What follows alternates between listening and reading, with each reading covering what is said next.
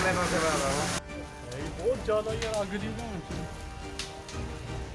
ਸਰਕਾਰੀ ਹਸਪਤਾਲ ਦੇ ਵਿੱਚ ਅਚਾਨਕ ਹੀ ਅੱਗ ਲੱਗਣ ਦੇ ਨਾਲ ਲੋਕਾਂ ਦੇ ਵਿੱਚ ਹੜਕੰਪ ਮਚ ਗਿਆ ਹੈ। ਤਾਂ ਵੱਡੀ ਖਬਰ ਤੁਹਾਨੂੰ ਦੱਸ ਦਈਏ ਕਿ ਬੀਤੀ ਰਾਤ ਨੂੰ ਹਸਪਤਾਲ ਦੇ ਵਿੱਚ ਅੱਗ ਲੱਗੀ ਹੈ ਜਿਸ ਤੋਂ ਬਾਅਦ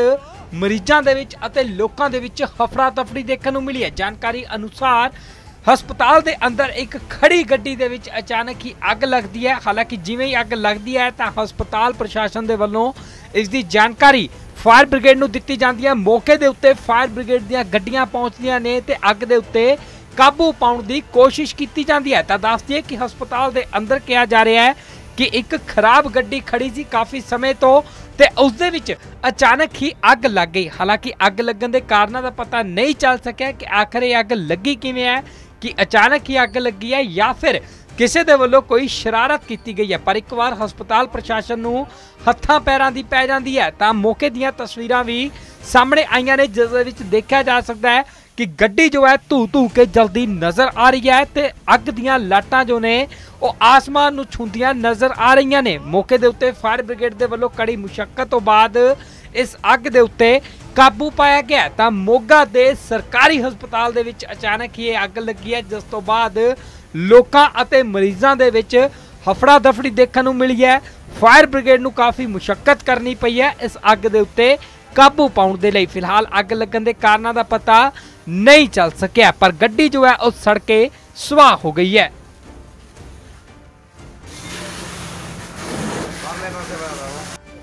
ਬਹੁਤ ਜ਼ਿਆਦਾ ਯਾਰ ਅੱਗ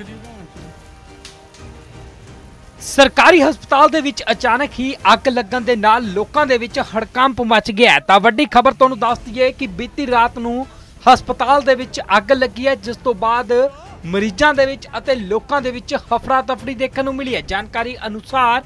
ਹਸਪਤਾਲ ਦੇ ਅੰਦਰ ਇੱਕ ਖੜੀ ਗੱਡੀ ਦੇ ਵਿੱਚ ਅਚਾਨਕ ਹੀ ਅੱਗ ਲੱਗਦੀ ਹੈ। ਹਾਲਾਂਕਿ ਜਿਵੇਂ ਹੀ ਅੱਗ ਲੱਗਦੀ ਹੈ ਤਾਂ ਹਸਪਤਾਲ ਪ੍ਰਸ਼ਾਸਨ ਦੇ ਵੱਲੋਂ ਇਸ ਦੀ ਜਾਣਕਾਰੀ ਫਾਇਰ ਬ੍ਰਿਗੇਡ ਨੂੰ ਦਿੱਤੀ ਜਾਂਦੀ ਹੈ ਮੌਕੇ ਦੇ ਉੱਤੇ ਫਾਇਰ ਬ੍ਰਿਗੇਡ ਦੀਆਂ ਗੱਡੀਆਂ ਪਹੁੰਚਦੀਆਂ ਨੇ ਤੇ ਅੱਗ ਦੇ ਉੱਤੇ ਕਾਬੂ ਪਾਉਣ ਦੀ ਕੋਸ਼ਿਸ਼ ਕੀਤੀ ਜਾਂਦੀ ਹੈ। ਤਾਂ ਦੱਸ ਦਈਏ ਕਿ ਹਸਪਤਾਲ ਦੇ ਅੰਦਰ ਕਿਹਾ ਜਾ ਰਿਹਾ ਹੈ ਕਿ ਇੱਕ ਖਰਾਬ ਗੱਡੀ ਖੜੀ ਸੀ ਕਾਫੀ ਸਮੇਂ ਤੋਂ ਤੇ ਉਸ ਦੇ ਵਿੱਚ ਅਚਾਨਕ ਹੀ ਅੱਗ ਲੱਗ ਗਈ। ਹਾਲਾਂਕਿ ਅੱਗ ਲੱਗਣ ਦੇ ਕਾਰਨਾਂ ਦਾ ਪਤਾ ਨਹੀਂ ਚੱਲ ਸਕਿਆ ਕਿ ਆਖਰ ਇਹ ਅੱਗ ਲੱਗੀ ਕਿਵੇਂ ਹੈ, ਕਿ ਅਚਾਨਕ ਹੀ ਅੱਗ ਲੱਗੀ ਹੈ ਜਾਂ ਫਿਰ ਕਿਸੇ ਦੇ ਵੱਲੋਂ ਕੋਈ ਸ਼ਰਾਰਤ ਕੀਤੀ ਗਈ ਹੈ, ਪਰ ਇੱਕ ਵਾਰ ਹਸਪਤਾਲ ਪ੍ਰਸ਼ਾਸਨ ਨੂੰ ਹੱਥਾਂ ਪੈਰਾਂ ਦੀ ਪੈ ਜਾਂਦੀ ਹੈ, ਤਾਂ ਮੌਕੇ ਦੀਆਂ ਤਸਵੀਰਾਂ ਵੀ ਸਾਹਮਣੇ ਆਈਆਂ ਨੇ, ਜਿਸ ਦੇ ਵਿੱਚ ਦੇਖਿਆ ਜਾ ਸਕਦਾ ਹੈ ਕਿ ਗੱਡੀ ਜੋ ਹੈ ਧੂ ਧੂ ਕੇ ਜਲਦੀ ਨਜ਼ਰ ਆ ਰਹੀ ਹੈ ਤੇ ਅੱਗ ਦੀਆਂ ਲਾਟਾਂ ਜੋ ਨੇ, ਉਹ ਆਸਮਾਨ ਨੂੰ ਛੂੰਦੀਆਂ ਨਜ਼ਰ ਆ ਰਹੀਆਂ ਨੇ। ਮੌਕੇ ਦੇ ਉੱਤੇ ਫਾਇਰ ਬ੍ਰਿਗੇਡ ਦੇ ਵੱਲੋਂ ਕੜੀ ਮੁਸ਼ਕਲ ਤੋਂ ਬਾਅਦ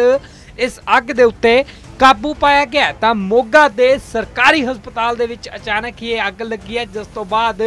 ਲੋਕਾਂ ਅਤੇ ਮਰੀਜ਼ਾਂ ਦੇ ਵਿੱਚ ਹਫੜਾ ਦਫੜੀ ਦੇਖਣ ਨੂੰ ਮਿਲੀ ਹੈ। ਫਾਇਰ ਬ੍ਰਿਗੇਡ ਨੂੰ ਕਾਫੀ ਮੁਸ਼ਕਲ ਕਰਨੀ ਪਈ ਹੈ। ਇਸ ਅੱਗ ਦੇ ਉੱਤੇ ਕਾਬੂ ਪਾਉਣ ਦੇ ਲਈ ਫਿਲਹਾਲ ਅੱਗ ਲੱਗਣ ਦੇ ਕਾਰਨਾਂ ਦਾ ਪਤਾ ਨਹੀਂ ਚੱਲ ਸਕਿਆ, ਪਰ ਗੱਡੀ ਜੋ ਹੈ ਉਹ ਸੜ ਕੇ ਸੁਆਹ ਹੋ ਗਈ ਹੈ।